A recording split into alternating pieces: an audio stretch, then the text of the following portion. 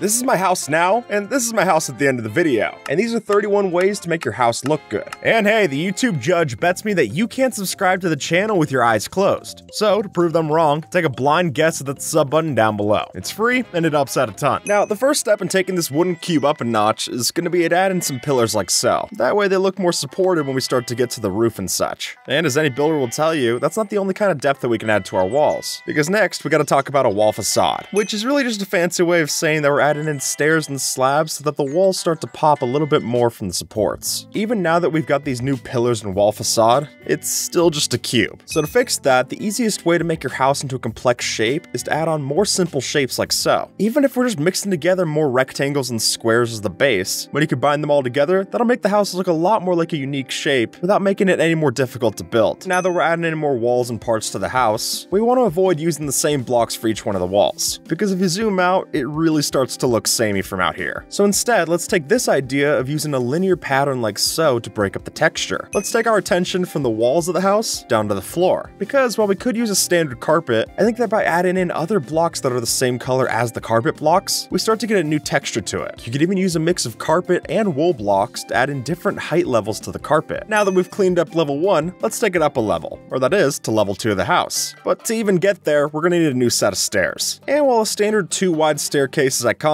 I think this user's design looks a lot nicer than that, and it's the same cost. Because by just placing these stairs on the outside facing inward, we get a natural railing to the stairs, which lets us get up to the second floor so that we can start on our roof. We're gonna wanna do something a little bit more unique than just the standard staircase design. And the easiest way to avoid your building looking like a triangle is to mix in a use of whole blocks and slabs instead of just regular stair steps. And speaking of which, now that we've got the roof done, this house is really starting to come together. But a house isn't all that good if you're not able to sleep in it, so let's deal with that next. And as you can probably guess, I'm not a fan of just placing your bed out in the open. So instead, let's take our standard bed and add some function to it. By using this user's design, we can place our bed up here, have it look like a bunk bed, but then still have all the space consolidated for a crafting table, barrel storage, and even a lectern if you want. Oh, and don't worry, this lantern that we're adding here isn't the only light source that we plan to add. And luckily, if we craft a few more lanterns, we can use these as a unique way to light up the base. By just using a mix of levers, item frames, and chains, we can make it look like the lanterns are held up by the wall instead of hanging in midair. And once we place in the last lantern, our base is really starting to look like something from the inside. But there's still work to be done on the outside of the base. The best way to do that will be adding in vegetation blocks. And we could do this with a mix of vines, leaves, or flowers. But let's not make these with bone meal and saplings, but rather let's break down those bone meal trees and use the materials to make a few custom ones of our own. By using oak wood instead of oak logs, we can keep the bark texture on all sides and have our tree look a lot more realistic when we make a unique trunk like so. And then if we add in different slabs and fences like this user does, we can mix in plenty of variety to our branches, which lets us make a nice looking custom tree at basically any size that you want. And for an extra bonus tip, you can go even further and use your custom trees with walls instead.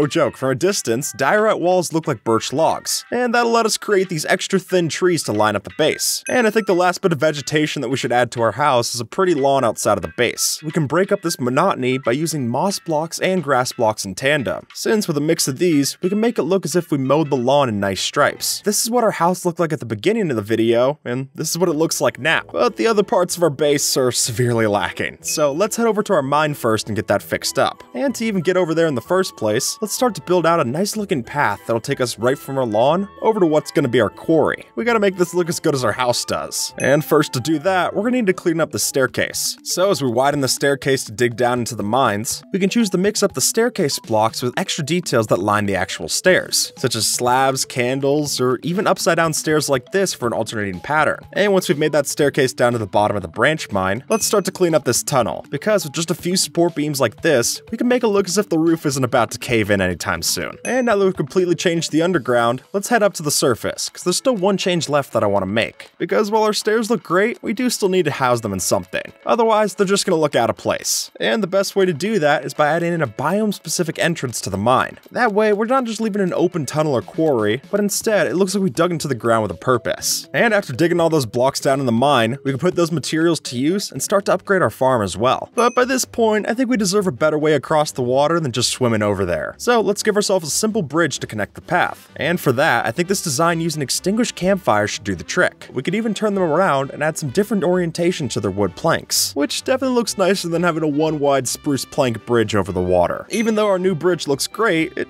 doesn't lead to that pretty of a farm. Eh, and while it looks awkward to have our farmland out and about like this, if we add in trapdoors around the plots, then we can make it look like planter's boxes. And that even gives us a way to compartmentalize our different crops, which is functional, but it's still too clean for the farm. So to add in some extra realism, let's plant our crops in a row like this. That way, we use the dirt on either end of the farming rows to look like the walking lanes that you use to tend to the crops. We still need a place to hold our farming tools and seeds. And for that, I think adding in a little storage shed like this will make it look a lot nicer than just having our chests and barrels out in the open. And personally, I like this idea of using signs for an extra depth off the back, and all the while having it look like wooden planks are holding together the back of the barrel. And now, for the centerpiece of this whole farm, let's build ourselves a nice big windmill, which will not only give us a place to sleep for some safety out there, but it can also give us a proper spot to house the different animals that we'll need in the farm. And after adding our cows into a farm in their own, let's go one step further and place down this design for an industrial-sized milk tank, which will not only fit in with the different kind of redstone farms that we might build, but it also gives us a use for any of the copper that we might have grabbed while we were digging out the mine. But with all of that built, we're still gonna need a place to store our stuff. So let's build out a new warehouse building to keep all of the items that we've been collecting. And then once we've got our exterior done, we can go inside and add in this new expandable storage system. Now, what we've got here uses redstone comparators to give an indication of the chest capacity. So whether we're storing a bunch of cobblestone from our mining trip or a load of wheat from the new farm, this will give us an indicator of how many of the chests that we've filled up. And to make it even more clear what we've got inside, let's sneak a couple of these in. By mixing an item frame with a sign, we can choose to label our chest with both text and a visual indicator of the block inside, almost giving ourselves a pop-up book effect. And make sure to save a few more of those item frames, because if we choose to put those in between the chests like this, it'll look as if they're glued together. And when you've got a big row of chests like we got here, that'll make those tiny gaps in between them a lot less noticeable. And while that all helps to make our bulk storage look the best, what about our valuables? Let's step outside and I'll show you this new trapdoor, which if we flip like so, can grant us access into a new secret basement. That way we can still keep all of our goods within the storage building, but we don't have to be too obvious about it. And that'll give us the perfect place to keep all this netherite that we're crafting up. Or rather, the netherite that we would craft if we had a nether portal. So let's fix that problem. And to do that, we're gonna need two things to show off. A supersized nether portal and a supersized hallway to get us to that nether portal. And as we dig out the tunnel to build this new nether portal, we can line the walls of the cave with all the different tips that we learned from earlier. Pillars for support, hanging lanterns, the whole nine yards. And once we reach the end, it's finally time to build out our new centerpiece, the nether portal. Now, personally, I like the idea of blending in the nether portal with a facade. And once we've blended it in, our nether portal really looks like something to see. But we can't just have it look good on the overworld side. So let's head through and teleport over to the nether as well. And if we're gonna pretty up the other dimension, I love this idea of having the nether side mirror what we build in the overworld. Almost as if we're walking into a parallel dimension. And while it is gonna double the amount of blocks that we're using here, the results are clearly worth it.